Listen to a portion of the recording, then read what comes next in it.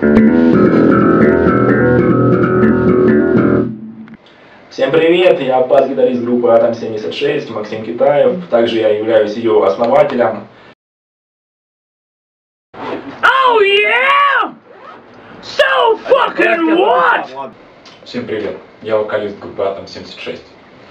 Это мой код.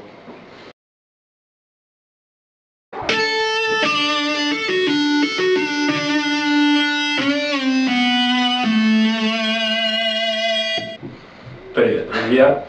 Я клавишник группы Атом 76. Ну, в данный момент я доктор Зло с моим котом Тузом.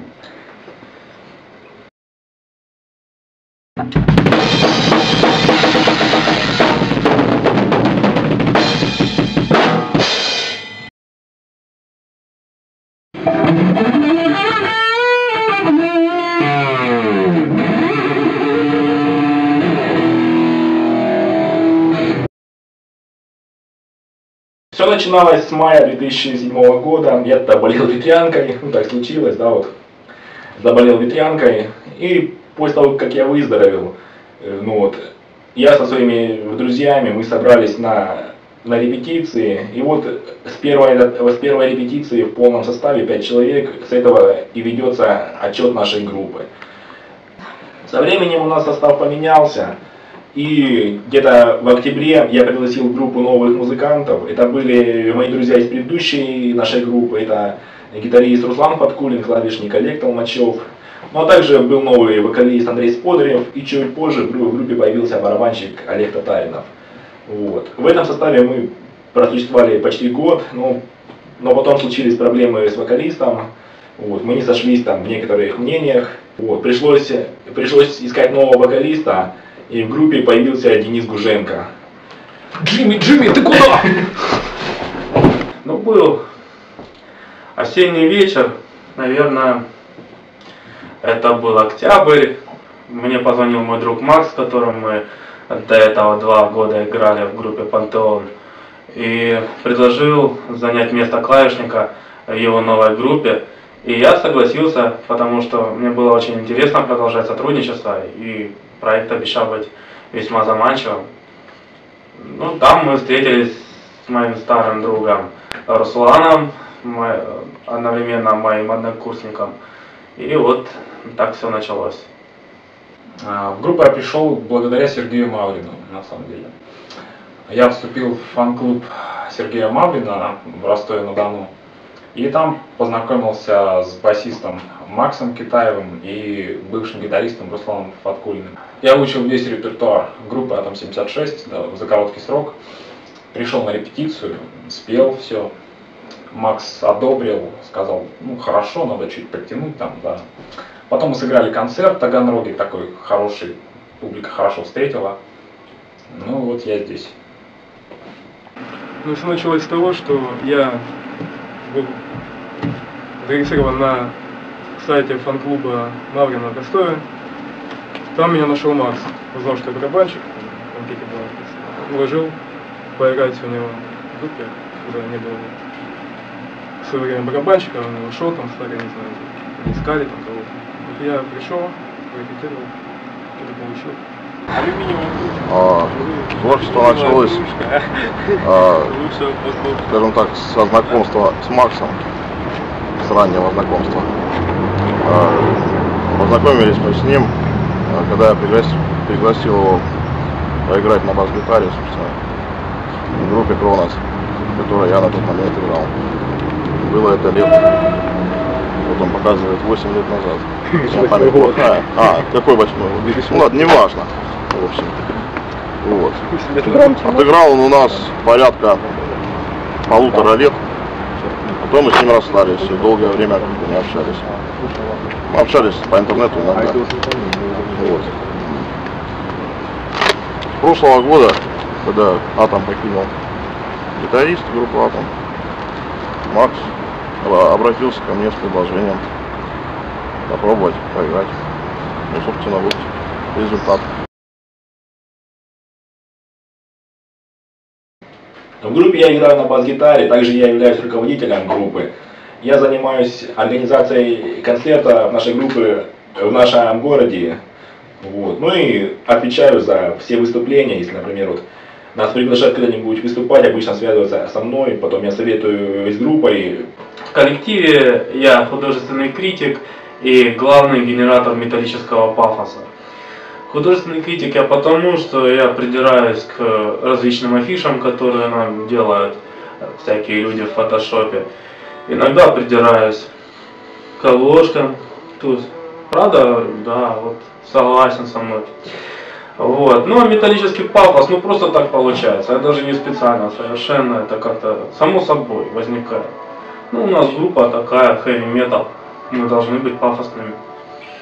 Вот. Ну, иногда еще я сочиняю музыку. И играю на своем синтезаторе. Раньше я играл одним пальцем, теперь у меня играю все 10.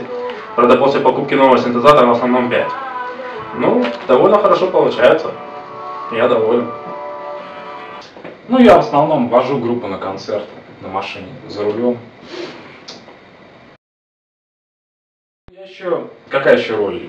Помогаю барабанщику железо носить, ну, тяжелый кардан у парня, вот сложно носить, конечно. Ну, почему так сложилось, что когда мы едем в какие-нибудь концерты далекие, я почему-то заводила вот всяких дурачеств, мы там то что-то выкидываем из окна, там, или там какие-то приколы постоянно, ну, так вот получается. То неведомая черная фигня какая-то возникает там. Барабаны. Поддержание ритма. Ну, он по- подкармливает меня сигаретами.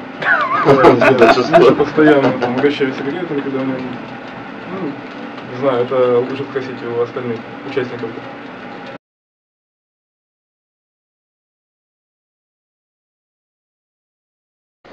Музыка для меня является очень значительным хобби и увлечением вообще по жизни.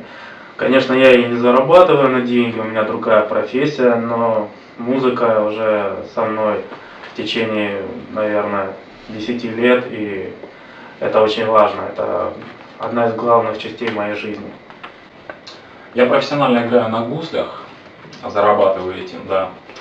А в атоме, ну атом хобби такой, конечно. так. Как только вот на гуслях поиграю, потом пальцы отдохнули, и в атоме сразу пою. Ну, сейчас у меня еще хобби появилось, я развожу мадагаскарских тараканов. Вот тут один пришел, его зовут Джимми. Эй, Джимми. Вот, короче, он такой очень милый, и он э, помогает мне сдачу давать в магните, когда я покупаю продукты, например. Вот так вот. Он живет со мной. Я занимаюсь только музыкой. Это для меня одна из главных частей моей жизни. Ну, временами, так сказать, чем-то другим занимаюсь, не музыкальным. Вот. Сожалению, не основная деятельность, но я стремлюсь к этому, чтобы музыка стала моей профессией. Еще музыка для меня все, я стремлюсь всегда как можно больше времени уделять этому. Я занимаюсь с 15 лет, получается уже около 8 лет. Вообще сложно рассказывать о самом запомнившемся концерте, потому что все они были уникальны, там были такие ситуации, когда что-то там страшное, черное ползало по, по стене, когда гитарист очень обижался на то, что происходит, или, например, как было в Донбайе, когда что-то липкое проливалось через двери, и оказалось, что совсем не то, о чем я там думал. Не подумайте, это было пиво. Вот. Ну, путешествия были совершенно разные. Москва вообще ни с чем не сравнится, особенно первое путешествие туда. Поэтому что-то выделить одно, наверное, даже не получится. Все уникально. Самый запомнившийся концерт это поездка в Москву в клуб Каста на день рождения группы Эпоха. Они нас пригласили. А, Очень приятная поездка. Они вообще нас услышали по радио и говорят, вот что там закипело, его поют. Надо пригласить их. И вот э, мы приехали, подарили им молоток, ведьм. И в вагоне был очень такой занятный случай, когда мы ехали. Человек занял место мое, пришлось его выгнать. Там, давай еще раз. Сейчас был. Ну, самая запомнившаяся поездка, это когда мы ехали в Москву, в клуб Каста. Вообще мы дико угорали просто, там в вагоне там чувака чуть ли не выбросили в окно, он занял наше место. Мы подарили группе Эпоха молоток ведьм, они были тоже дико довольны, например. В общем, мы потом гуляли, там Руслану а, отрубывали голову на гильотине, там на этой, на таком экспонате. В общем, все было прикольно.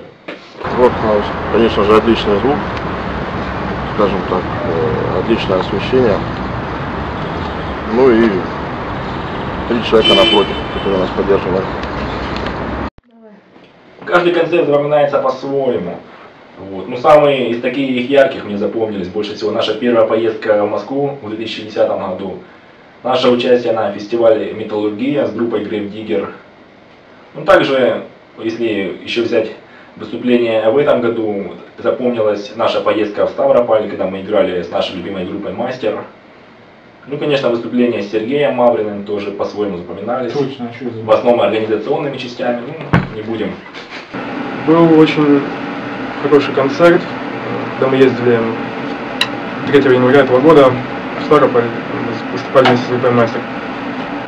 Был отличный звук, отличная аппаратура, и выступить на сцене с легендами этого жанра было большой честью для меня лично и для группы в целом.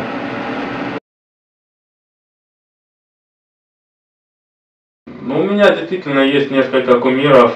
Это Эрик Адамс, вокалист группы Мановар, благодаря, так сказать, творчеству этой группы и его пению, я очень сильно увлекся хэви-металом. Но также, конечно же, наша группа Ария, которая дала толчок вообще моему увлечению именно хэви-металом. И сейчас мне очень нравится творчество группы Бон Джови, ну и самого певца Джона Бон Джови. Вот, так что их можно назвать моими кумирами. Сначала начал э, ориентироваться на вокалистов наших, таких как Алексей Булгаков, Дмитрий Варшавский, я начал петь. А потом я начал активно петь Кипелова. А сейчас я уже... Мне очень нравится Себастьян Бах группы Skid Row, Дэвид Ковердейл и Йорн Ланде. Если я правильно произнес. Такие крутые вокалисты, они очень крутые. Большое влияние на меня оказали, это, конечно же, бас-гитаристы моих любимых групп, это Алик Грановский, Виталий Дубинин, Стив Харрис из группы Iron Maiden, Алекс Вебстер из Cannibal Corpse. Как очень много, я слушаю очень разную музыку, от э, совсем легких стилей рока до супер экстремальных. И Если ориентироваться на барабанщиков на главном уровне, ну, Майк Портной, возможно, там, из э, таких вот легенд, Ника Макбрейн из Iron Maiden. Из российских очень нравится игра Макса Удалова из Арии. Ну, все начиналось, э, как у многих, э, возможно, с Арии, там, я очень увлекался Iron Maiden в свое время, до сих пор их публически слушаю. Потом был Dream Theater, Racing Metal. Сейчас я увлекаюсь более тяжелым чем-то. Dead, метал команды. Миром является гитарист группы Firewind, Газджи, также он сейчас играет э, в группе Оззи Осборн. Очень техничный дядька. До него конечно, вряд ли дорасту, но тем не менее его игра конкретно, его имидж, его музыка мне очень нравится. Начинал с 16 лет, послушал Арию, потом послушал Iron Maiden, очень понравилось, послушал Judas Priest, вот, и так далее. Ну, на самом деле, в разных форматах. Э, Нравятся и клубные мероприятия, и более большие сцены в более больших залах, а также нравится бэк-шоу, open air. Вообще, чем больше детям лучше. Ну, повторюсь, что сольно мы не выступали еще. Но вот у нас будет первое выступление, фактически сольное, а, на наше пятилетие, 27 мая. Вот. А если относительно того, что в клубах, либо на фестивалях, конечно, на фестивалях интереснее. Я думаю, на этот вопрос лучше всего ответит наш вокалист в последующем. Но я тоже люблю именно выступать в этом формате. Конечно, MP3. Это современный формат ВКонтакте, на телефонах, везде позволяет передавать по Bluetooth, ну, только MP3.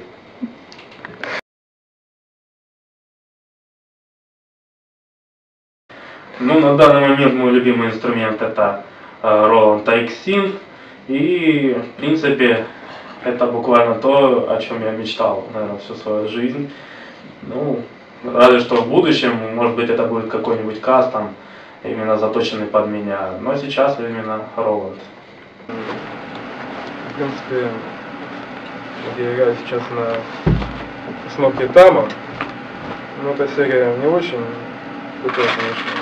Тама это классик Мейпл, наверное, это самое лучшее, что может быть. Из железа тарелок, Юджин, прекрасно. Ну, собственно, вот Джексона я хотел приобрести, я его приобрел. Но в будущем приобрести более дорогой Джексон. Потом еще более дорогой Джексон. Потом, может быть, два даже Джексона. Я играю на бас-гитарах фирмы Washburn, на пяти струнном, на шести струнном басу. Я себе мечтаю приобрести бас-гитару фирмы Warwick, как у Алика Храновского, только пятиструнный бас. Также я люблю играть на инструментах типа болгарка, гвоздодер, молоток и тому, и тому подобные инструменты. Так сказать. Настоящие инструменты для настоящей музыки. Чтобы соседи все сразу вешались. А, мой любимый инструмент это, конечно, волынка. Да.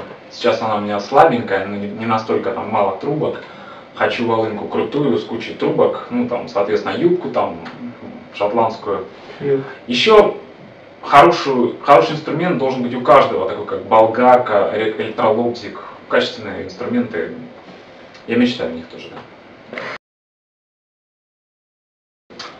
Ну, вообще приятно, когда подходят люди после концерта, там, с теплыми словами, подходят там, маленькие девочки подходят, такие, вау, вау, клево. Подходят э, чуваки, которые там путают песни наши, там говорят, вот, да.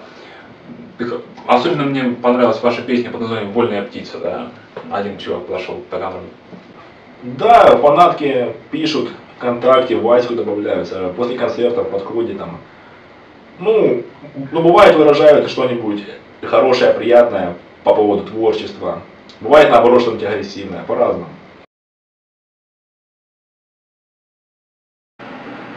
Ну, в свое время были и подъемы, и упадки этого жанра. Сейчас, э, мне кажется, наступает период подъема опять металла. Я думаю, что все будет хорошо. Эти приходят поклонники в этой музыке будут всегда. Ну, последние годы, в принципе, есть довольно большое количество не слабых групп, как в Ростове, так и в других э, городах нашей Родины необъятной. И уровень, на мой взгляд, только растет с каждым годом исполнения, уровень музыки. Я думаю, все будет хорошо. Музыка менее популярна, сейчас больше, так сказать, попсы в нашем шоу-бизнесе, то есть, э, ну, и и металл получается некоммерческой музыкой, вот. Перспективы металла в России, ну, сейчас появляется множество интересных метал-групп, но, к сожалению, металл в стране это некоммерческая И музыка. пластиковую тару не заправляют, к сожалению. Да. Вот, закрываются заводы, работает некому, металл не производят. И надежда только вот на нас, и, и- на Дениса, и на... Я мужчина в металле!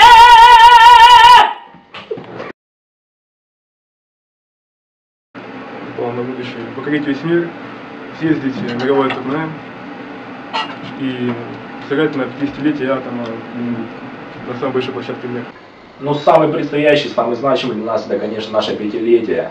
Специальным гостем будет Артур Беркут, голос таких групп, как Ария, Автограф, Сергей Маврин, ну и другие, более-менее известные коллективы. Также планируется отыграть несколько концертов на мотомероприятиях.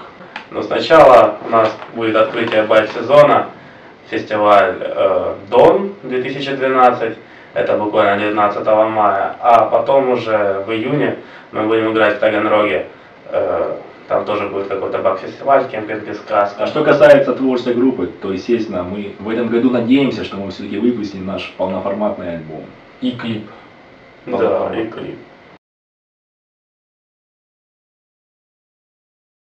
Ну, группа Ария всегда для нас э, группа номер один в России из нашей любимой музыки. Естественно, как бы мы все, я думаю, что все, первый раз пошли на концерт группы Ария, когда на вокале был Артур Беркут. Идея пригласить его на наш юбилейный концерт появилась примерно год назад, когда на сайте Арии появилось объявление, что Артур Беркут покидает группу. Вот. Ну, общими усилиями нам удалось его уговорить, чтобы он принял участие в нашем юбилейном концерте. К счастью, он согласился, и вот мы в ожидании. Да, мы все волнуемся, то, что как бы мы все эти песни слушали, там, нам было и по 10 лет, и по 15, а теперь мы их исполняем вместе как бы вот с человеком, который, который в свое время их пел. Для меня Артур Беркут э, связан в первую очередь с альбомом «Крещение огнем». Считаю это его самым лучшим альбомом, одним из самых лучших альбомов Арии. Колизей, Крещение огнем, там высоко, просто шикарные все песни. Армагеддон как-то не так зацепил. Вот когда Макс сообщил мне, что мы будем играть, петь э, с Берку, там, ну, просто я был в шоке. С нетерпением ждем этого концерта. Я думаю, что это будет просто какая-то мечта сбудется. Я во многом согласен с нашим вокалистом. То, что он сказал, действительно, «Крещение огнем» тоже считаю одним из лучших альбомов Арии и, соответственно, одним из лучших в исполнении Беркута, даже самым лучшим. Э, песни там какие-то очень драйвовые, очень мощные, и даже вот они как будто отражают суть обложки, вот этой красной, нарисованной Лео Хао. Э, альбом классный и действительно исполнить некоторые песни с этого альбома, э, причем которые будут исполнены самим Беркутом, это будет очень необычно. Да, большая честь будет. И большая честь, да.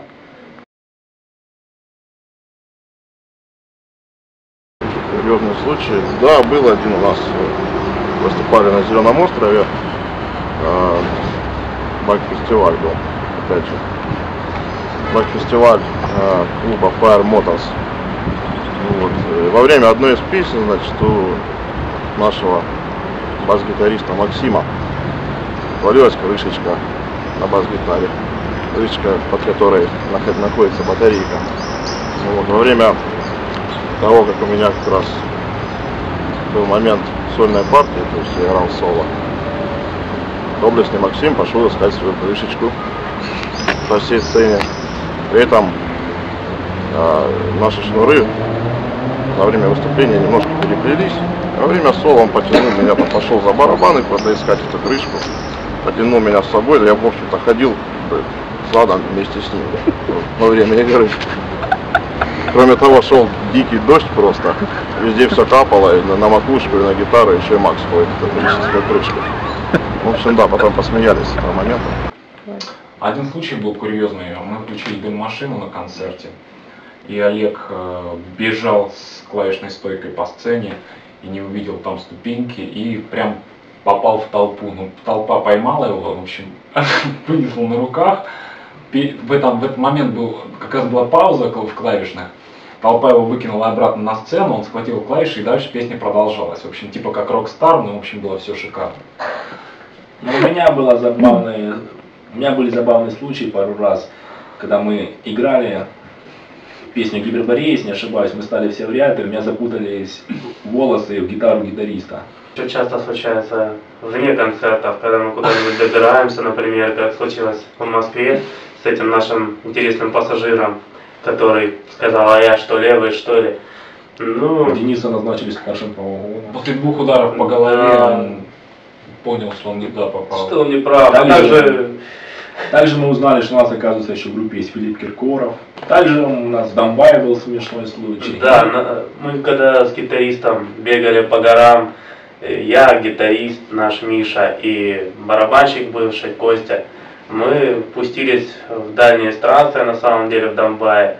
И в результате этих странствий, прыгая по скалам и пересекая горные ручьи, наш гитарист потерял своего очень близкого друга, это был кроссовок. Он его порвал, причем конкретно, и мы последующее все время в Донбайе искали, как бы нам этот кроссовок вернуть к жизни. Кроссовок Но в конце концов, Том. Да, в конце концов. песня.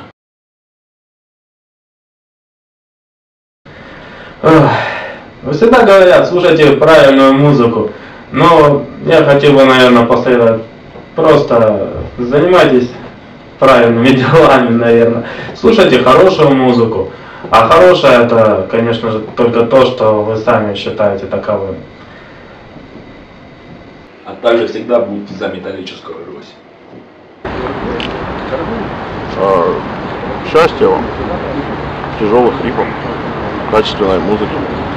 Приходите на концерт Атом 76 27 мая. Там, На правах рекламы. Вне сцены мы очень серьезные все люди, я вот даже выгляжу представительно в рубашечке, в галстучке, вот. Вне группы мы все серьезные, интеллигентные люди. Я вот даже в рубашечке, в галстучке, я так повседневно хожу, вот, меня это устраивает все. Здесь таракан, нигде не пробегал. Briga!